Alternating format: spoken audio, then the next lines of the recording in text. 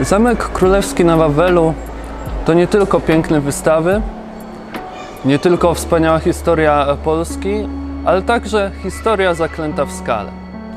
Skamieniałości, bo o nich tutaj mowa, to szczątki organizmów, zwierząt, roślin, które przetrwały do dzisiejszych czasów w skałach.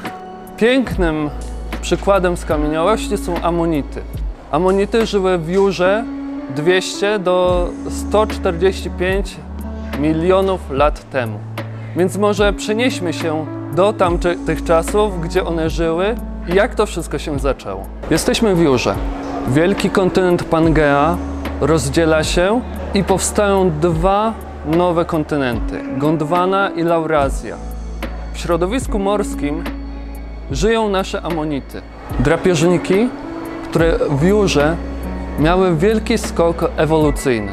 Największe osobniki osiągały 2 metry średnicy. W strefie przybrzeżnej wskutek procesów wietrzeniowych dochodzi do wywiewania luźnego materiału skalnego i ten transportowany przez prądy morskie dociera na dno. Amonity, jak i inne organizmy, zostają przysypane tym materiałem skalnym. Wskutek nawarstwiania się warstw materiału dochodzi do warunków bez słońca, bez tlenu, bez substancji odżywczych, przez co amonity obumierają.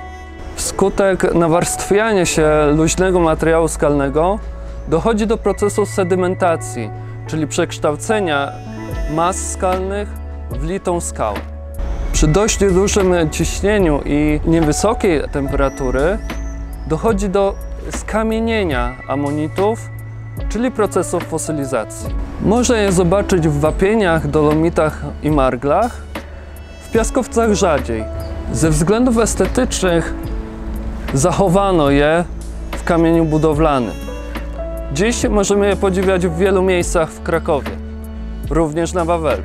Dlatego zapraszam Państwa do samodzielnego poszukania amonitów na Wawelu. Przyjdźcie, poszukajcie i zobaczcie, jak wygląda historia zaklęta w skale.